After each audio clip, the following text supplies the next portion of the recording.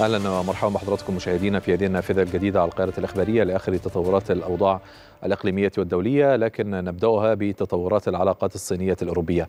حيث قال كبير الدبلوماسيين الصينيين وانغ يي إن الاتحاد الأوروبي يجب أن يوضح بشكل أكبر موقفه حيال الشراكة الاستراتيجية مع بكين. وقال وانغ لمسؤول السياسة الخارجية في الاتحاد الأوروبي جوزيف بوريل على هامش اجتماعات رابطة أسيان في العاصمة الإندونيسية جاكرتا قال إنه يتعين على الصين والاتحاد الأوروبي تعزيز الاتصالات ودعم الثقة المتبادلة وتعزيز التعاون.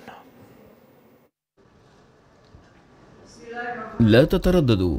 وحددوا موقفكم بوضوح من الشراكة معنا. رسالة واضحة قالها كبير الدبلوماسيين الصينيين وانغي لمسؤول السياسة الخارجية بالاتحاد الأوروبي جوزيف بوريل. كان لقاء الجانبين مهما وكاشفا. على هامش اجتماعات رابطة دول جنوب شرق آسيا آسيان في العاصمة الإندونيسية جاكرتا. كبير الدبلوماسيين الصينيين. حاول دفع المسؤول الأوروبي الأبرز إلى وضع النقاط على الحروف في علاقات البلدين. شراكة أنفق ارتباط خاصة في ضوء ما تواتر أخيرا من تصريحات لقادة أوروبيين. تطالب بتقليل الاعتماد على الصين بالنظر إلى كونها منافسا قويا من وجهة نظرهم فضلا عن عدم إدانتها للعمليات الروسية في أوكرانيا. من هذا المنطلق طالب وانغ بتعزيز العلاقات بين الكيانين الكبيرين وتعزيز الاتصالات ودعم الثقة المتبادلة خاصة وأن هذا العام يصادف الذكرى العشرين لإطلاق الشراكة الاستراتيجية الشاملة بين بكين وبروكسل. جوزيف بوريل حاول طمأنة بكين بتأكيده على أن الصين شريك مهم للاتحاد الأوروبي الذي يسعى لتطوير علاقة بناءة ومستقرة بين الجانبين مؤكدا في الوقت نفسه أن موقف بروكسل من مسألة تايوان لم يتغير وهو الالتزام بمبدأ صين واحدة. لم يكتفي بوريل بذلك بل أشار إلى أن الصين لاعب رئيس في مسرح السياسة العالمية ورحب بمبادراتها في مختلف الملفات. تصريحات المسؤولين الصيني والأوروبي تؤكد وفقا لمراقبين أنه رغم تضارب المواقف في الأزمة الأوكرانية فإن الجانبين سيحافظان على علاقتهما بك القضايا العالمية ما يجعل من دعوات فك الارتباط بينهما أمرا مستحيلا. إذا لمزيد من التحليل والقراءة حول هذه العلاقات ينضم إلينا من بيروت السيد علي محمود ريا مدير موقع الصين بعيون عربية والخبير في الشؤون الآسيوية. سيد علي بعد التحية. عند الحديث عن العلاقات الصينية الأوروبية هل ينبغي أن نقيم هذه العلاقات بشكل إجمالي أم نفصل محاور هذه العلاقات من ناحية تجارية من ناحية دبلوماسية من ناحية العسكرية؟ يعني الحديث بشكل إجمالي عن العلاقات بين الصين والاتحاد الأوروبي ككل هو مهم جدا لأن الصين والاتحاد الأوروبي يشكلان قوتين اقتصاديتين كبيرتين جدا وعاملين أساسيين في الاستقرار العالمي واستمرار ونمو التعاون التجاري بينهما يحقق استقرارا ليس فقط للاقتصاد الأوروبي أو الاقتصاد الصيني بل يشكل استقرارا للاقتصاد العالمي ككل وخاصة في ظل التنافس الشديد بين الصين والولايات المتحدة الأمريكية. ما طلبه الصينيون خلال هذه القمة كان بشكل واضح أن يتخذ الاتحاد الأوروبي خطوات معلنة فيما يخص العلاقة مع الصين وخاصة أن الخطوات الأخيرة التي اتخذت كانت تشكل الكثير من نقاط الاستفهام على هذه العلاقة بين الاتحاد الأوروبي والصين مم. أنت تحدثت عن الولايات المتحدة وهي طرف ثالث في هذه العلاقة كيف يمكن للولايات المتحدة أن تؤثر على العلاقات المباشرة بين الصين والاتحاد الأوروبي؟ من الطبيعي أن تحاول الولايات المتحدة الأمريكية تأطير وتحجيم العلاقة بين الصين والاتحاد الأوروبي وذلك لأنها الخاسر الأكبر من هذه العلاقة. يعني إن اعتماد الاتحاد الأوروبي على الصين وحصول تبادلات تجارية كبرى بينهما يخفف من النفوذ والسطوة الأمريكية.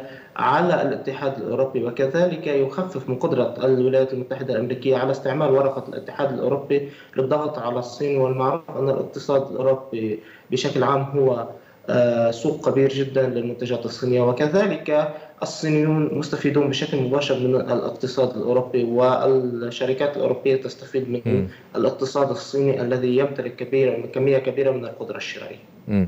طيب سفير الاتحاد الأوروبي في بكين يقول منذ يومين أن المفاوضات التجارية بين بكين والاتحاد الأوروبي قد فشلت خلال أربعة أعوام ماضية في تحقيق نتائج مرجوة على الأقل بالنسبة للاتحاد الأوروبي كيف يمكن لهذه العلاقة أن تتطور مستقبلا في ظل هذا هذه الأوضاع وهذه الرؤية المتشائمة من قبل سفير الاتحاد الأوروبي في بكين.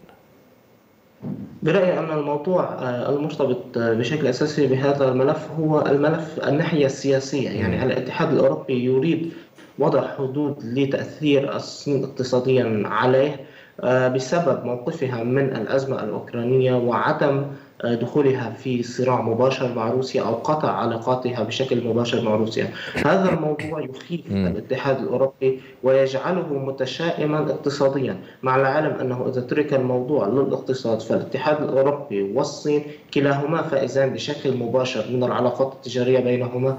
والدليل الأكبر أن الشركات الألمانية وهي من أقوى الدول الاقتصادية من أقوى الدول الأوروبية اقتصاديا تعتمد بشكل مباشر ضمن سياستها للنمو في السنوات القادمة على السوق الصيني. وهذا ما يؤكد أن العلاقة بين الصين والاتحاد الأوروبي تجاريا هي علاقة رابح رابح وليس فقط نعم. مستفيد منها هو الجانب الصيني تفضل بالبقاء معي سيد علي. الآن ينضم إلينا من مدريد الدكتور صلاح قراطة الخبير في العلاقات الدولية. دكتور صلاح بعد التحية. هناك طبعا لا شك أن هناك علاقات متبادلة علاق علاقات تبدو وثيقة أو يؤمل أن تكون وثيقة بين الاتحاد الأوروبي والصين. لكن سفير الاتحاد الأوروبي في بكين يقول أن هذه العلاقات قد فشلت في تحقيق نتائج مرجوة نتائج إيجابية خلال الأربع سنوات الماضية. لماذا برأيك الاتحاد الأوروبي ينظر إلى هذه العلاقات أو إلى تطور هذه العلاقات بأنها فشلت خلال السنوات الماضية؟ يبدو أن العلاقات لن تصل إلى المستوى المأمول رغم أن كلا الفريقين يحتاج الآخر ويمكن أن يكون هناك بينهما نوع من التكامل ينتج عن التعاون. لكني على يقين كامل إن لم تتحرر أوروبا من من المظلة الأمريكية أو من الرؤية والإرادة الأمريكية ستكون إلى حد ما أسيرة لهذه الإرادة. ومعروف أن أمريكا لها لها موقف مسبق من الصين وقد ازداد هذا الموقف تعقيدا من خلال الأمريكان عندما اعتقدوا ويحاولوا أن يسوقوا ويشيطنوا في آن معا أن الصين تقف مع روسيا في غزوها إلى أوكرانيا أو حربها في أوكرانيا أن الصين تضطهد الحريات أن الصين لا لا تفتئت الأقليات إلى ما هنالك. تحاول أمريكا دائما أن تأتي بالخيط بمصالحها اولا ولا ولو على حساب الآخرين. وأخيرا المؤتمر الأخير الذي عقد لآسيان وانتهى مؤخرا كان الحضور الأمريكي والياباني واضح لجهة النيل من قناه من قناة الصين. وعليه أيضا وجدنا أن أن وزير خارجية روسيا قد قال ان أن أمريكا تحاول أن تدفع بالأطلس إلى الهادي والهندي. وهذا من شأنه أن يغير أو يؤثر على سياسات آسيان التي تنحو أو تتمنى أن تكون المنطقة هادئة بعيدة عن التجاذبات الجيوسياسية. في كل الحالات أؤكد أن أن المستويات المأمولة لم تتحقق إلا أنها يمكن أن تتطور. الصين فيما يبدو أنها فاتحة أيديها وبعقل منفتح وقلب منشرح تحاول ذلك. لكن لكن الأوروبيون كما حدث معهم في علاقتهم مع أمريكا من خلال الاطلسي والموقف المعلن من من العملية العسكرية الخاصة الروسية في أوكرانيا قد تأذوا كثيرا. صحيح. معلوم طيب. أن معلوم اسمح لي. تفضل. طيب دكتور صلاح بحسابات الربح والخسارة من الخاسر الأكبر في هذه الرؤية المتشائمة؟ على الأقل من الناحية الأوروبية للعلاقة التجارية على الأقل بين بكين والاتحاد الأوروبي في السنوات الماضية. سأذهب بعيدا وأعود سريعا لأقول لكم كان الغاز الروسي يتدفق إلى الدول الصناعية ومعظم الدول الأوروبية وضمن مواد الطاقة الأخرى النفط الخام والسواه وبالتالي عندما آه، فرضت عقوبات اقتصادية على روسيا لاحظنا أن نسبة البطالة ونسبة التضخم وإغلاق المعامل إلى ما هنالك سيما في ألمانيا التي كانت تعتمد اعتمادا شبه كليا قد تأذت كثيرا كثيرا كثيرا ولاحظنا الهرج والمرج الذي آه، ضرب الشعوب في هذه المنطقة أقصد منطقة آه، منطقة الأطلسي في أوروبا. معلومة سيدي الكريم أن أن أن قبضة الاقتصاد هي من تطرق الأبواب المغلقة أمام السياسات، فتقديم المصالح ربما يجعل من السياسات أكثر انفراجا وأكثر آه، دينامية. آه، الصين وأوروبا إن لم يستطيعا أن يصلا إلى مكان التلاقي والتكامل فالمتأذي فالمتأذي فعلا فالمتأذي فعلا الأوروبيون مقارنة بما حدث معهم من خلال وقوفهم في السياق الأمريكي والأطلسي في يعني فرض عقوباتهم على الروس. إذا طبقنا هذا أو قسنا به فسنجد أنهم متضررون أكثر آه، القرابة من الصين آه، نعم. مفيدة الجغرافيا مع الصين ملتقية آه، المنتجات الصينية تغرق الأسواق سيما أنها تسمى مصنع العالم الصين يعني قوة اقتصادية ضخمة عندها إمكانيات كذلك ضخمة على الأوروب على الأوروبيين أن يستفيدوا من هذه م. الإمكانيات وهذه الطاقات طبعا أنا لا أدعو إلى قطع العلاقات مع الأمريكان فهذا مستحيل لكن أن يحددوا علاقات على ضوء مصالحهم بشكل أكثر استقلالية فيما يبدو. طيب آه، أعود مرة أخرى إلى بيروت والسيد علي محمود ريا. سيد علي قديما كان يقال أن الاقتصاد هو الذي يسير ويحرك السياسة. هل هذه المعادلة من وجهة نظر العلاقات الصينية الأوروبية تغيرت الآن وأصبحت السياسة العلاقات الدبلوماسية والسياسية وموقف الصين من الحرب الروسية الأوكرانية هي التي تحرك الاقتصاد؟ دعني أقول أن المقولة صحيحة ولكن في العلاقة بين الصين والولايات المتحدة الأمريكية. يعني عندما تكون الصين والولايات المتحدة الأمريكية علاقتهما الاقتصادية جيدة فسينعكس الموضوع على علاقتهما العسكرية والسياسية وغيرها وسينعكس الموضوع على علاقة الصين. عندما تكون العلاقة جيدة بين الصين والولايات المتحدة ينعكس الموضوع على علاقة الصين الاقتصادية والسياسية والأمنية مع أوروبا. أوروبا لا تتخذ قرارها بشكل مستقل ولا تستفيد من الحرية الممنوحة لها كدول مستقلة وكتكتل كامل ولا تدرس حتى مصالحها الخاصة. هي تقوم بتنفيذ آه، المصالح الأمريكية أو ما يمليه عليها أو ما آه، يدفعه إليها الأمريكيون. طيب دكتور محمود أو عفوا دكتور صلاح قراطة من مدريد. ما هي محددات ما هي ما هو الحد الأدنى من آه، التي تقبل به أوروبا من هذه العلاقات الاقتصادية بين الصين والاتحاد الأوروبي بعيدا عن الموقف الأمريكي؟ آه، يفترض يفترض أن ترفع يدها أو تكون موضوع موضوعية في علاقاتها أمريكا مع الصين ومع أوروبا في آن معا.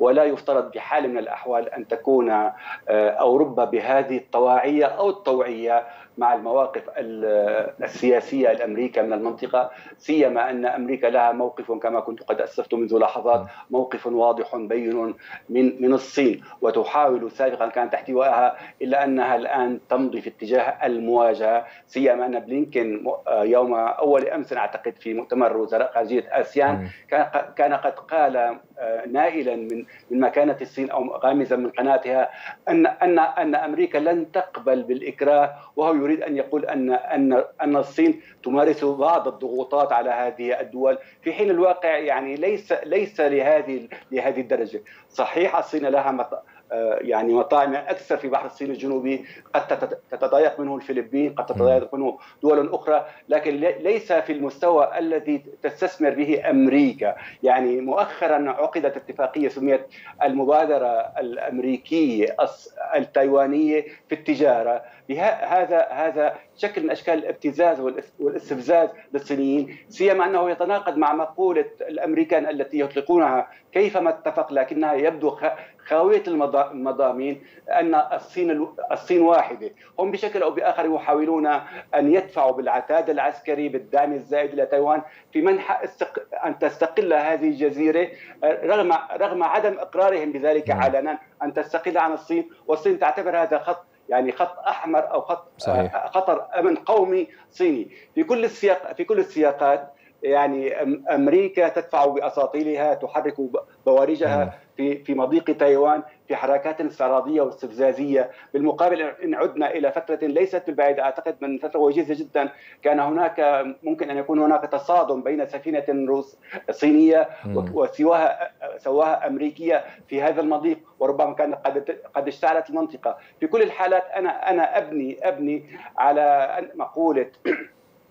الشقي هو من اتعظ بنفسه. والسعيد من اتعظ بغيره. أعتقد تايوان كانت قد تعلمت درس درسا مفيدا جدا جدا مما حدث في أوكرانيا. وعليها وعليها تريد أن تبقى على ما هي عليه دون ما تدمير فيما لو كانت قد دخلت بالفلك الأمريكي أو سارت في, في الركب الأمريكي. أنا أبني على فوز توميكا أحد الأحزاب غاب اسمه عن عن بالي الآن.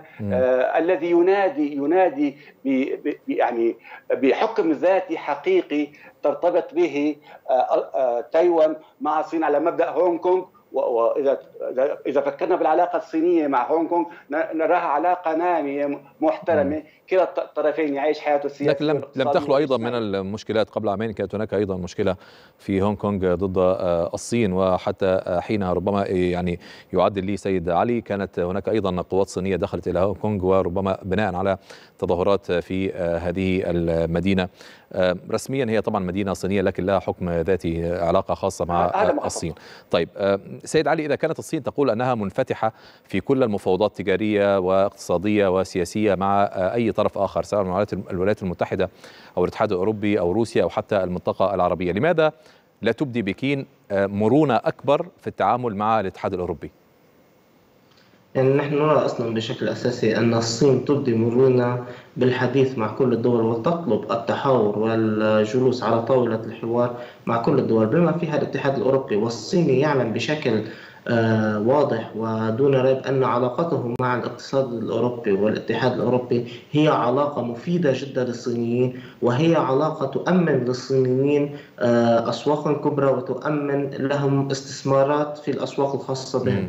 وعليه فإن الصينيين يدفعون لتحسين العلاقة مع الاتحاد الأوروبي ويطلبون من الاتحاد الأوروبي عرض مخاوفه الخاصة وليس المخاوف الأمريكية. يعني نحن مثلا لا نرى حديث أوروبي عن الاستخبارات الصينية والتجسس الصناعي واستعمال الاتصالات للتجسس وغيرها.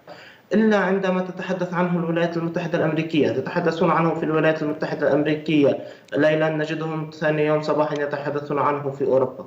وهذا ما يؤكد أن من يؤثر بشكل مباشر على العلاقات الصينية الأوروبية ومن لا يريد لهذه العلاقات أن تكون مميزة وناجحة بشكل أساسي هو الولايات المتحدة الأمريكية. الولايات المتحدة الأمريكية لا تريد الصين ليس فقط في الموضوع الأوروبي حتى كما ذكر الدكتور في موضوع دول الأسيان تحاول بشكل كبير جدا أن تحول الأزمة الموجودة هناك أزمة موجودة في بحر الصين الجنوبي أن تحولها إلى أزمة كبرى وأن تجعل هذه الأزمة تطغى على العلاقات الاقتصادية المميزة بين الصين وبين نعم. يبدو أننا فقدنا الاتصال بالسيد علي محمود ريا مدير موقع الصين بعيون عربية والخبير في الشؤون الآسيوية. على أي حال شكرا جزيلا له. كان معنا من العاصمة اللبنانية بيروت. شكرا جزيلا. وأعود مرة أخرى إلى مدريد ودكتور صلاح قراط الخبير في العلاقات الدولية. دكتور صلاح وجد ترحيب بك. يبدو أن العلاقات تبدو متوترة الآن على الأقل من الناحية الاقتصادية بين الصين والاتحاد الأوروبي.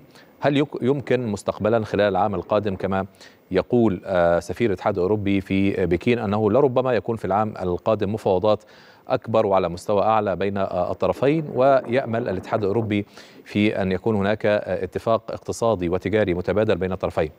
هل تتوقع؟ هذا هذا هذا ما ما, ما يسعى إليه الطرفان.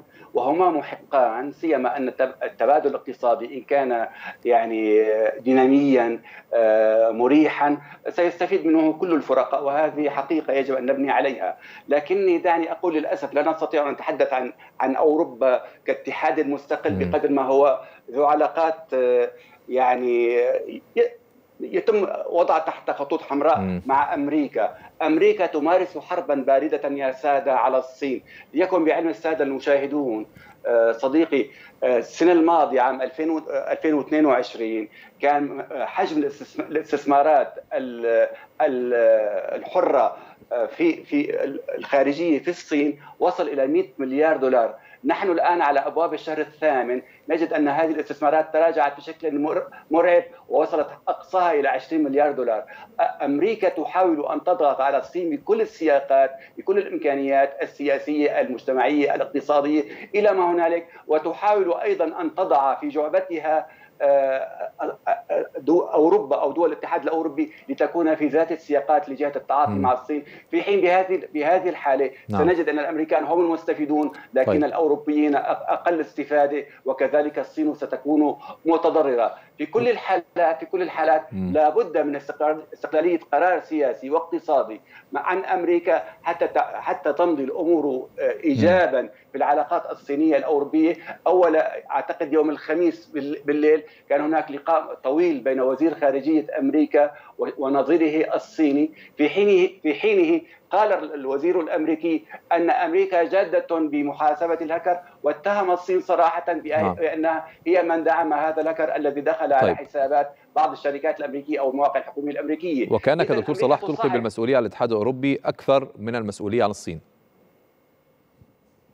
عفوا لم اسمع السؤال. يعني كأنك تلقي بالمسؤولية مسؤولية فشل هذه المفاوضات والعلاقة التي يراها الاتحاد الأوروبي بأنها أقل من المتوقع بينه وبين أنا بكين أنا على الاتحاد الأوروبي أكثر من الصين. نعم. أنا أنظر بحساسية وبترقب إلى التبعية الأوروبية التي بدت واضحة جدا آه، لا يمكن أن توريتها أو المواربة في الحديث عنها من خلال الحرب الدائرة في شرق القارة الأوروبية الأوروبيون تضرروا كثيرا كثيرا كثيرا حتى معاملهم إلى حد ما تراجعت فيها العمالة تراجع فيها الإنتاج ارتفعت التكاليف. آه، آه، كل ما يتعلق بالأجور والرواتب وال ومن شأنه أن يحيا به الإنسان كان في في في مكان غير غير مريح. لو كانت أوروبا كما يدعو الرئيس الفرنسي دائما إلى قوة عسكرية خاصة خاصة بأوروبا بعيدة عن الأطلسي أو بعيدة عن الأمريكان ربما تشعر أوروبا بالاستقلالية. نعم. وإن استقلت سياسيا فهي ستكون أقوى اقتصاديا. وحتما حتما أنا أؤكد أني ألقي باللوم على الأوروبيين أكثر من الصين. فالصين م. آه، تتحرك وفق مصالحها وكل ما تصرح به أو أو نراه من خلالها يد ممدودة وقلب منفتح. شكرا جزيلا دكتور صلاح قراطة الخبير في العلاقات الدولية. كنت معنا من العاصمة الإسبانية مدريد. شكرا جزيلا. أعلنت وزارة الدفاع الصينية أن القوات المسلحة الروسية ستشارك في تدريبات عسكرية تنظمها الصين في بحر اليابان. ولم تحدد بكين موعدا لهذه التدريبات إلا أنها قالت أنها ستكون في المستقبل القريب. وأشارت إلى أن هذه التدريبات تجرى وفقا لخطة التعاون السنوية بين الجانبين. وتركز التدريبات على كيفية الحفاظ على أمن الممرات البحرية الاستراتيجية وزيادة التفاعل بين القوات الصينية ونظيرتها الروسية.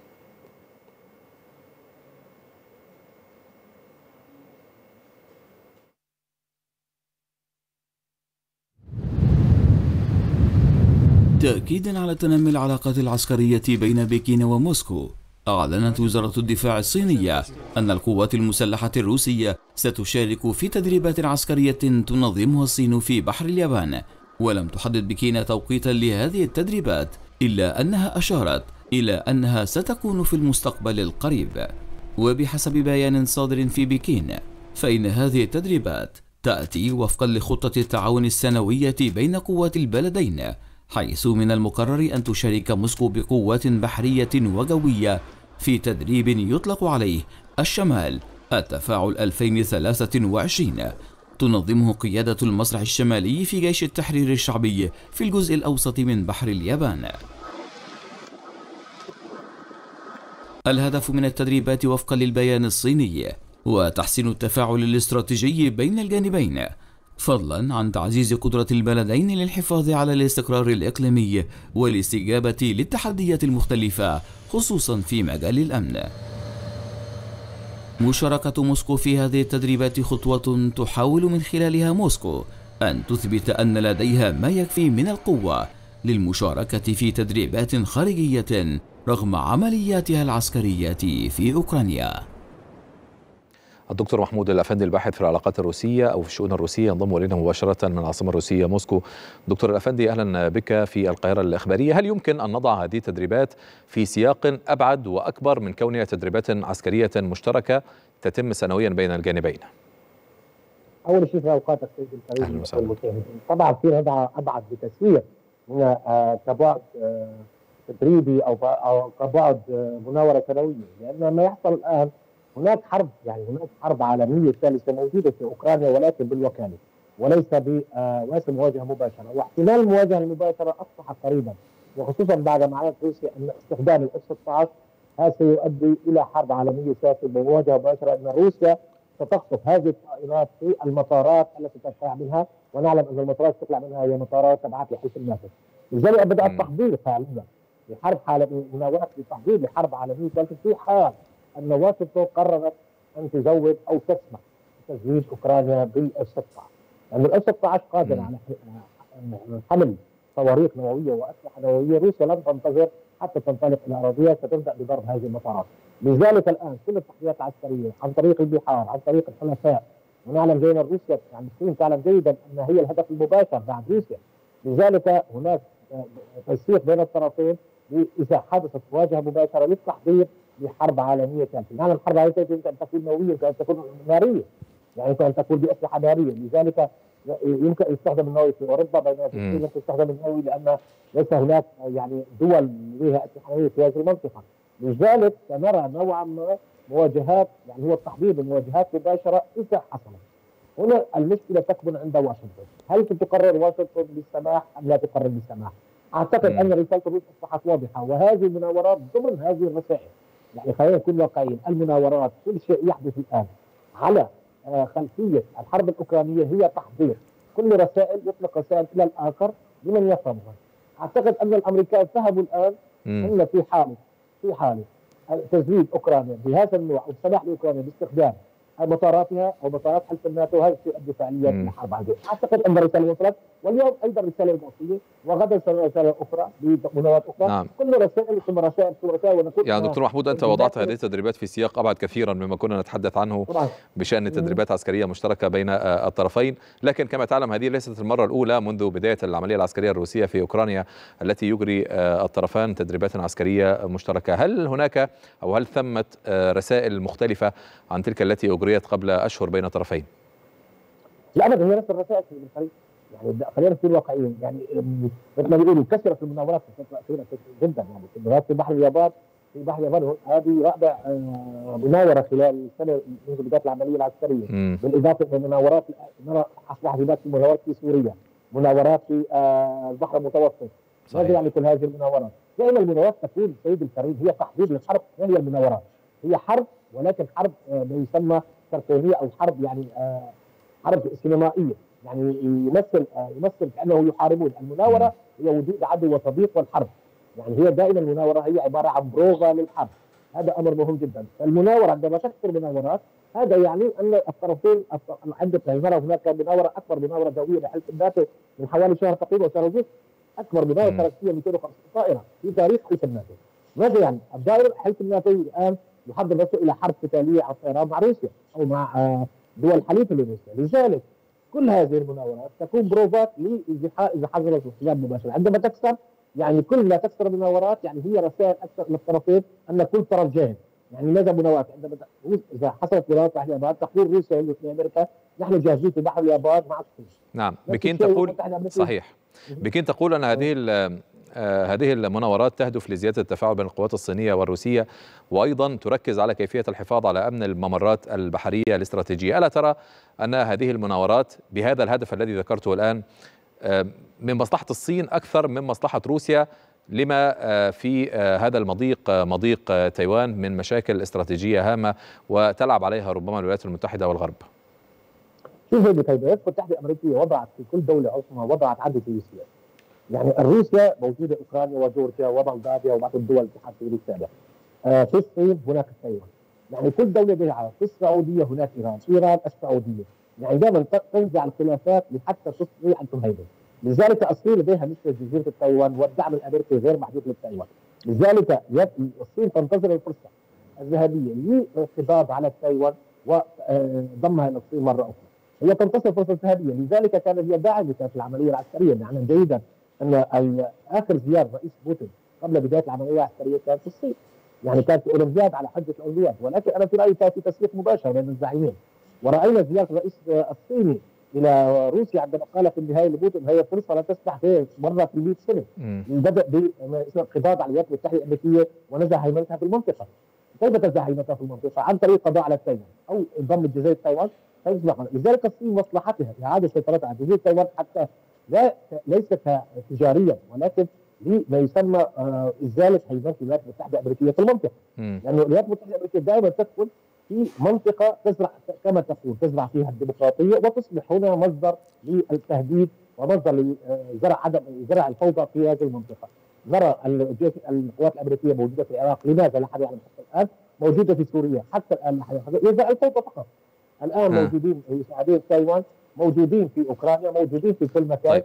يعني لماذا وجودهم؟ وجودهم هو عبارة عن الاستقرار، لذلك الصين تحاول بشكل من الاشكال استغلال فرصه طيب دكتور أي فرصة تسمح لها للاقتضاء على جزيره تايوان حتى تخرج يعني حتى عالم متعدد الاقطار سيدي الكريم لا تستطيع م. أن ينتقل عن اي ما دام الولايات المتحده الامريكيه لها هيمنه يعني ما معنى عالم متعدد الاقطار؟ لذلك هيمنه الولايات المتحده الامريكيه طيب. تظهر اقطارها طيب دكتور محمود ما الذي يمكن أن تستفيده روسيا من هذه المناورات التي تركز فيما يبدو على القوات البحرية بأكثر من القوات لا الجوية ولا القوات البرية مع العلم أن مساحة التنافس مساحة الصراع بين روسيا والغرب هي مساحة برية مشتركة بينهم أو بينهما في الحدود الأوكرانية أو حتى في الحدود البرية بين روسيا وبين حلف الناتو أو بين الدول الغربية، يعني ما الذي يمكن أن تستفيده روسيا من مناورات بحرية؟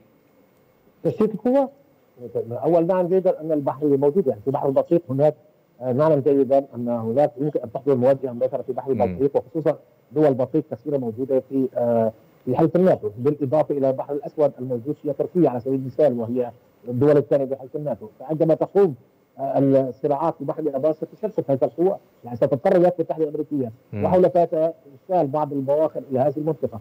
فهو عبارة كل ما زدت وعرض الجبهة يشتت القوات هذا القانون العسكري إذا كان الاصطراع موجود في منطقة واحدة يمكن حسمه في بعض في وقت قليل. ولكن عند تعريض الجبهة واستخدام كل القوات أو استخدام كل ما يسمى القدرات العسكرية للطرفين يمكن أن أن يصبح فرصة للآخر للانتصار. لذلك روسيا مصلحتها أن تذهب عن تسييد القوات إلى بحر اليابان وبحر الصين. نعم لكن الحديث عن بحر البلطيق أو البحر الأسود هي مناطق صغيرة ومساحات صغيرة مقارنة بالحدود البرية بين الغرب وروسيا.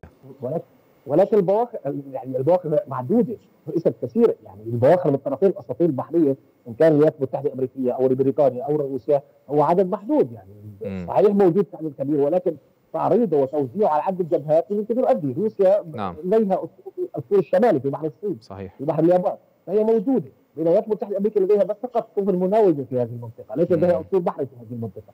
لذلك ستضطر بالارسال ستاخذ من اين من اين القدرات؟ ستاخذها من مناطق أخرى بحر البلطيق فسيسهل على روسيا الحرب في بحر البلطيق هذا مم. كله عبارة عن توزيع يعني استراتيجية عسكرية سيد الكريم هي تتقارب مع السياسيه يجب عندما تحضر للسلام يجب أن تحضر للحرب فدائما المناورات والاستراتيجية العسكرية تكبر في توزيع في تشتيت قوات العدو تشتيت قوات العدو تعني بالنسبة للدولة الأخرى هي السيطرة عليها والقضاء عليها في وقت أسرع أو في آه، بسهوله يعني يصبح أسهل بالقضاء عليها نعم. أو الانتصار عليها لا أقول انها ستصل بسهولة ولكن تشتيت القوات نعلم جيدا قدرات روسيا والصين العسكرية اذا تبعناهم مع بعضهم بالأسلحة تفوق لا يملكه ألف الناس بحريه هذا أمر مهم جدا. شكرا جزيلا. التشتيت- على التوتر سيشتت القوات شكرا جزيلا دكتور محمود الأفندي الباحث في الشؤون الروسية. كنت معنا من موسكو. إلى تطورات الأوضاع في السودان.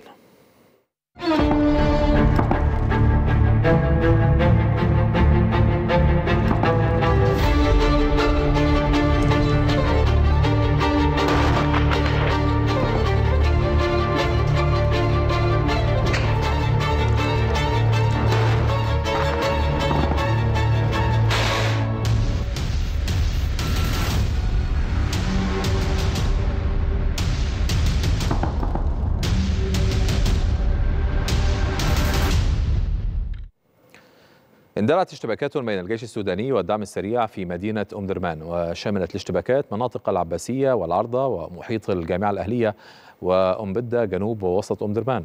يأتي هذا فيما شهدت المدينة تحليقا للطيران مع مع سماع دوي انفجارات في منطقة الخرطوم بحري.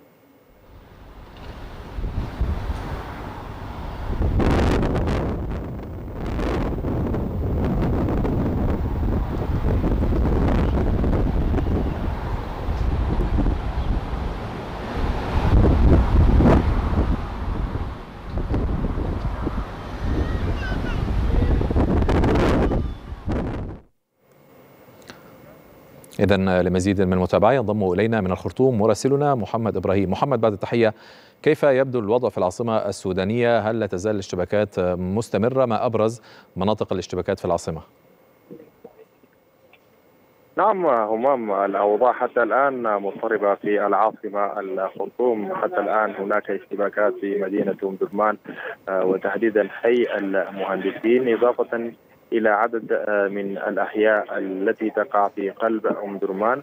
أيضا يمتد هذه يمتد هذه المواجهات أيضا في منطقة البحري ومنطقة شرق النيل إلى جانب منطقة الخرطوم وتحديدا منطقة العشرة وجبره هذه المناطق هي تشهد مواجهات عنيفة بين السوداني بحسب شهود عيان هناك فرار أعداد من الدعم السريع إلى الأحياء التي تقع جنوب الخرطوم حيث فرع من المباني وأيضا إلى الأحياء والآن يهتمون بالمنازل بحسب حتى هذه اللحظات كما يبدو يعني الأصوات.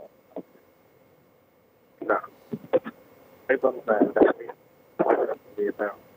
الصوت محمد يبدو سيئا للغاية. سنحاول التواصل معك مرة أخرى وفيما يبدو من هذه الصور يبدو أن هناك اشتباكات جارية كما قال زميلنا محمد إبراهيم مراسلنا في الخرطوم تحديدا في جنوب العاصمة بين الجيش السوداني وقوات الدعم السريع. هذه الاشتباكات تأتي بعد يومين فقط من مخرجات قمة دول الجوار الجوار السوداني طبعا والتي عقدت في العاصمة المصرية القاهرة والتي أنتجت آلية وزارية للتبحث حول هذا الأمر. وفيما يبدو أيضا أن هناك أخبار لاحقة عن هذه المخرجات. إذا محمد عاد إلينا مرة أخرى. محمد لو تسمعني الآن كنت تتحدث عن أن الاشتباكات لا تزال جارية لا سيما من خلال الطائرات العسكرية أو الطائرات الحربية السودانية التابعة للجيش السوداني في مناطق جنوب الخرطوم.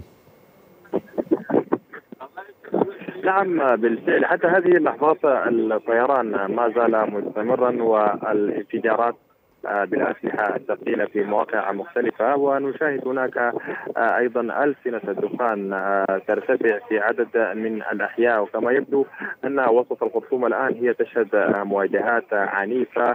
إلى جانب الان منطقة العشرة بحسب شهود عيان. هناك تسلل من افراد الدعم السريع الآن يتواجدون في منطقة في جنوب الخرطوم. وكذلك أيضا منطقة جبرة. هذه المنطقة التي الآن نشهد مواجهات منذ أكثر من أسبوعين. هذه أصبحت منطقه عمليات إلى جانب ذلك هناك تعزيزات في مواقع انشائيه من جانب الجيش السوداني في وسط الخرطوم. وكذلك أيضا الآن هناك اشتباكات في منطقة شرق النيل لكن مع ذلك هناك ارتكازات الآن تتبع للدعم السريع. تتواجد أسفل كوبري أو جسر سوبا الذي يربط الخرطوم بشرق النيل. اذا الأوضاع حتى هذه اللحظة هي ما تزال مستمرة المواجهات وما تزال هناك أصوات للأسلحة الثقيلة والخفيفة إضافة إلى جانب تصاعد ألسنة الدخان في مواقع مختلفه كما يبدو أن الجيش السوداني بدأ يعني يتجه أو إلى المداهمات في الأحياء وعمليه القوات العمليات الخاصة التابعة للجيش السوداني ما تزال يعني تداهم المنازل التي يتواجد فيها أفراد الدعم السريع. والجيش السوداني في عدد من البيانات تحدث عن أن هذه الخطة هي خطة الهجوم. آه يعني الخطة السابقة هي كانت آه خطة الدفاع. ولكن آه كما يبدو أن الأيام القادمة سوف تشهد مواجهات عنيفة ومطاردات عنيفة كما نتابع اليوم الآن مطاردات في مواقع الخرطوم جنوب وفي أيضا أم درمان التي تشهد عمليات تنشيط واسعة في عدد كبير من أحياء أم درمان، اذا الأوضاع في مدن العاصمة المثلثه الآن مضطربة، هناك أصوات للاسلحه الثقيله وهناك يعني مطاردات من جانب الجيش السوداني تجاه الدعم السريع، وبحسب شهود عيان أن الفرار أعداد الدعم السريع هي نعم. حتى هذه اللحظات ما تزال مستمرة في عدد من أحياء الخرطوم وأيضا أو مدنها الثلاث. شكرا جزيلا محمد إبراهيم مراسلنا من العاصمة السودانية الخرطوم.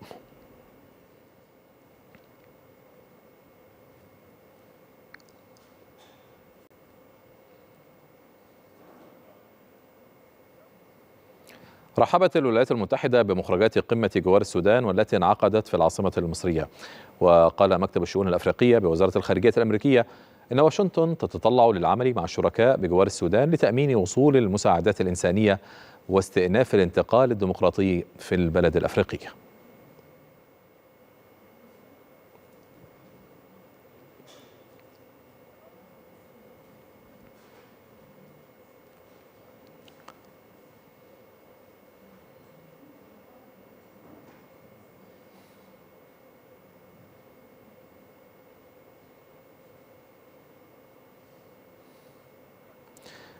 إذا قراءة أوفى عن هذا الملف ينضم إلينا من القاهرة السيد مجدي عبد العزيز الكاتب والمحلل السياسي سيد عبد العزيز بعد التحية إذا الولايات المتحدة يعني كان لها رد فعل فيما يتعلق بمخرجات قمة دول جوار السودان والتي انعقدت في العاصمة المصرية وكانت هناك العديد من النقاط تحديدا ثمانية نقاط في هذه المخرجات ما الذي يمكن أن تقدمه الولايات المتحدة لمساعدة السودان في هذا الظرف العصيب؟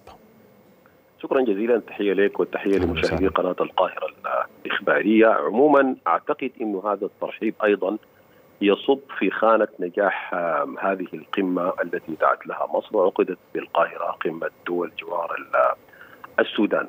الولايات المتحدة كانت لاعبا بأوجه متعددة في الملف السوداني منذ ما قبل الحرب منذ أيام الأزمة السياسية الطاحنه وكذلك تدخلت بجانب المملكة العربية السعودية لمحاولة عقد بعض الهدن في السودان.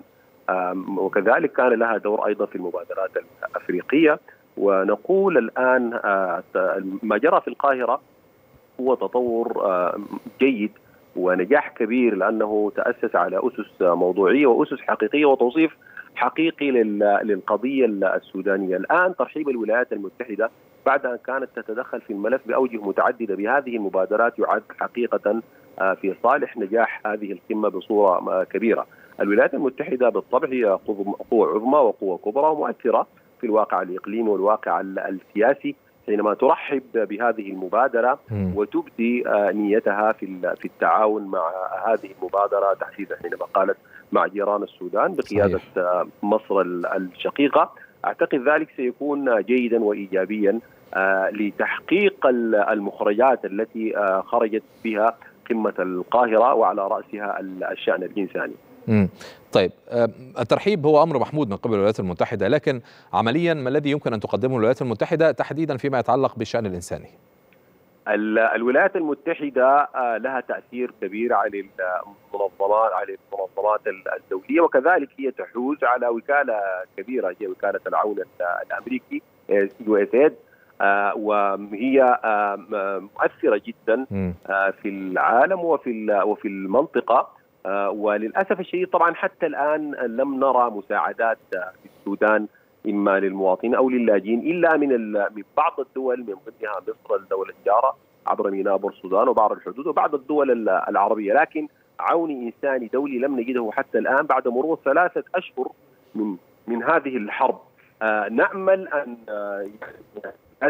بعد الترحيب بهذه وأعتقد أن هناك اتصالات ستكون جيدة بين مصر والولايات المتحدة وبين الآلية التي ستعقد قمه آه تعقد اجتماعاتها في آه انجمينا في الأيام المقبلة تواصل مع الولايات المتحدة حتى تسهم بالقدر المطلوب آه في لأن الشأن الإنساني هو أحد استحقاقات الاستقرار في السودان وكذلك الدول الدول جوار السودان تتحمل عبء كبير جدا لانها لأن كل هذه الاثار هي التي يعني تقع عليها واستقبلت أعداد كبيرة جدا من من القادمين إليها مثل مصر التي استقبلت عشرات الآلاف بل مئات الآلاف من الذين قدموا إليها من السودان. نتيجة هذه الحرب ربما يكون هذا الترحيب بداية تعاون جيد وتعاون إيجابي بين القمة وجمهورية مصر العربية مع الولايات المتحدة في الملف.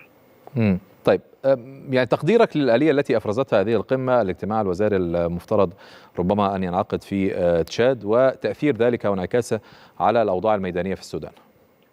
أعتقد الآلية لو خرجت بترتيبات فنية متعلقة كما قالوا بوقف إطلاق نار قصير الأمد من أجل الترتيبات الإنسانية يمكن أن يتطور ذلك. طبعا هذه هذه المخرجات المتوقعة أيضا هي لابد أن تكون واقعية لأن هناك كان تجربة سابقة في اتفاق جدة أن هناك شروط موضوعة لتحقيق هدف وقف إطلاق النار قصير الأمد وهو أن الحرب الآن أصبحت هي ضد المواطنين وضد البيوت وضد المستشفيات وضد المقار المدنية ومقار الكهرباء والمياه. إذا هذه الآلية يعني ونعتقد ذلك بواقعية نظرت إلى هذه القضية وطورت من مثل هذه المحاور وجعلت هناك آليات للتواصل والاتصال والمراقبة والمتابعة.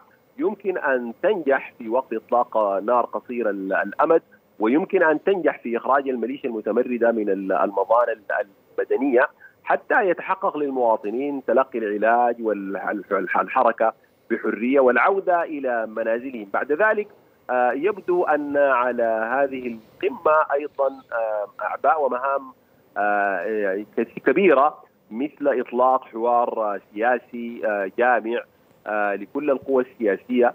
وهذا يعني إجراء في سلم الترتيبات حتى نصل إلى ما يسمى بوقف إطلاق نار شامل وهو يعني حل جذور كل المشكلات التي تحث على استخدام البندقية في العمل السياسي. بقول اجمالا هناك تفاؤل كبير جدا بنجاح الآلية. بعد أن رأى الناس نجاح القمة أن جمعت مصر ست دول جوار السودان بدبلوماسية قوية وبمحددات حكيمة وواعية وناظرة ودارية ومدركة بالواقع السوداني كما عهدنا مصر دوما. إذا كان الطرفان اتفقا ورحبا بشكل واضح بمخرجات هذه القمة لماذا لم ينعكس ذلك على الأرض؟ يريد ذلك تحركا. الآن يريد ذلك تحركا من الآلية. يعني ربما أنت تعرف تنزيل أي مخرجات تحتاج إلى الآليات وإلى تواصل وإلى التزامات. ثم إن أيضا هناك تعقيد في الواقع الميداني. كما قلنا إذا كانت الحرب هي مواجهة عسكرية منظمة بين طرفين كما يقال كان ذلك سيكون سهلا إذا كانت هناك كل طرف لديه منظومته للقيادة والسيطرة. يمكن أن ينزل تعليماته إلى القواعد وبذلك ينفذ هذا الأمر. هذا سيكون جيد. لكن الآن الميليشيا المتمردة تحولت إلى ارخبيل من من العصابات والمجموعات المتقطعة الأوصال ولا تمتلك قيادة وسيطرة. لذلك أعتقد أن المهمة لا أقول مستحيلة لكن هي ليست سهلة. المهمة صعبة تحتاج إلى ترتيبات فنية وإلى تواصل جيد حتى يتم تحقيق المطلوبات. مطلوبات وقف إطلاق النار قصير الأمد. وأعيد وأقول إن هذه المطلوبات متمثلة الآن بالدرجة الأولى في أن تخرج الميليشيا المتمردة من المضان المدنية من المستشفيات ومن بيوت الناس ومن ووقف عمليات قطع الطرق ووقف الانتهاكات الإنسانية. وانتهاكات الحرب. كل هذه الانتهاكات تأتي لأن ليس هناك الآن قيادة وسيطرة متماسكة للميليشيا المتمردة تستطيع أن تتابع ذلك. إذا إذا تفرزعت هذه الميليشيا وأصبحت عصابات كل زعيم عصابة يقرر ما يريد. إذا كان يريد ماء يذهب إلى البقالات إذا كان يريد غذاء يكسر المخازن إذا كان يريد دقيق يكسر المخازن ال ال كذلك. إذا فقد السيارات يسرق سيارات المواطنين. الوضع الآن بجانب الميليشيا المتمردة أشبه بالفوضى أشبه بالفوضى. ليست هي حرب منظمة ليس هو تحدي عسكري تواجهه القوات المسلحة مع الميليشيا المتمردة. ولذلك نقول إن القوات المسلحة نفسها قد غيرت من تكتيكاتها وأدخلت قدرات جديدة باستخدامها لمجموعات محدودة من قوات المهام الخاصة ومن القوات الخاصة المتدربة على حرب المدن وإلى الدخول للأزقة والشوارع. حتى تطهر هذه المنازل وهذه الشوارع من ميليشيا الدعم الدعم السريع. كل هذا لابد أن يكون واضحا بالنسبة للاليه التي ستنعقد في انيمينا المبادرات كانت كثيرة منذ اللحظة الأولى لاندلاع هذه الحرب في السودان سواء مبادرات أفريقية من خلال الإيجاد أو حتى عربية دولية من خلال الآلية السعودية الأمريكية. ما الذي يمكن أن تتفرد به المبادرة المصرية من خلال دول الجوار؟ المبادرة المصرية أولا أولا جمعها لدول الجوار. هذه هي الدول المتأثرة مباشرة بالحرب من السودان جمع مصر لها هذا كان هو النجاح الأساسي والكبير. ثم إن بيان المصر القيادة المصرية منذ الأول لإعلان هذه القمة حدد محددات. هذا ما فقدته كل المبادرات السابقة. محددات واضحة وواقعية وحقيقية. هي احترام سيادة السودان والعمل على المحافظة على المؤسسات السودانية واعتبار أن هذه المسألة مسألة داخلية، بعض المبادرات أرادت أن توصف الأزمة بما يتيح لها التدخل بالطريقة التي تريدها، أن تقول أن هذه حرب بين طرفين وهذه الحرب حرب بين جنرالين، وهذه الحرب معروفه أنها كانت تمرد من قوى عسكرية، لذلك مثلا مبادرة ايجاد أوغلت في التدخل في الشأن السوداني لدرجة أن بعض الزعماء دعوا إلى تدخل عسكري في السودان وهذا مساس واضح بالسياده الوطنيه السودانية وتضليل في توصيف ما يجري في السودان بأنه حرب بين طرفين وتضليل بأن القيادة السودانية لا تسيطر على الوضع في البلاد. لذلك وصفها بعض المراقبين وأقول بصراحة أن هذا المنبر كان مثل المقاولة مثل المقاولة. والذين تحدثوا قد يعني أوفوا فواتير هذه المقاولة وزادوا عليها حتى كمان بالتبجح على السودان والقياده السودانية. اتفاقية جدة كان فيها فرص ذهبية إذا تم لأن طرفي التفاوض في الجيش والدعم السريع وصفوا جيدا الواقع واعترفوا بأنه هناك وجود للميليشيا المتمرده بعد أن انتهت هدف الحرب من الاستيلاء على السلطة أصبح هناك وجود للميليشيا المتمرده في المظان المدنيه وأن الميليشيا المتمرده أصبحت تستخدم المدنيين دروع بشرية. هذا هذا هذا الواقع تم تحويله إلى بنود ووقعوا عليها. وقعوا على أن تخرج الميليشيا المتمرده من المظان المدنية والمستشفيات ومن بيوت الناس وأن توقف العدوان وأن توقف قطع الطريق حتى على الإمدادات الغذائية والصحية كما حدث آه لبعثة منظمة أطباء بلا حدود. آه هذه البنود لم تنفذ.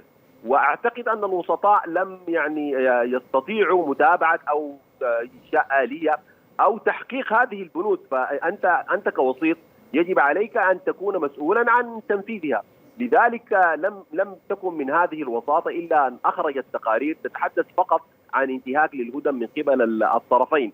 وكان واضحا أن الهدن في الفترة السابقة تستفيد منها ميليشيا الدعم السريع بمزيد من إعادة التموضع بمزيد من الدخول إلى بيوت الناس بمزيد من السلب والنهب والسرقة ويعزى ذلك لما قلت أن الوضع فوضوي في طرف الميليشيا المتمردة، نعم. الآن ما يميز هذه المبادرة المصرية بدأت على أسس واضحة. مم. شكرا جزيلا كان معنا شكرا جزيلا السيد مجد عبد العزيز الكاتب والمحلل السياسي كنت معنا من العاصمة المصرية القاهرة شكرا جزيلا بهذه المداخلة نكون قد وصلنا إلى نهاية هذه الساعة. من القاهرة الإخبارية بعد قليل وعلى رأس الساعة نلتقيكم في نشرة إخبارية مفصلة. إلى اللقاء.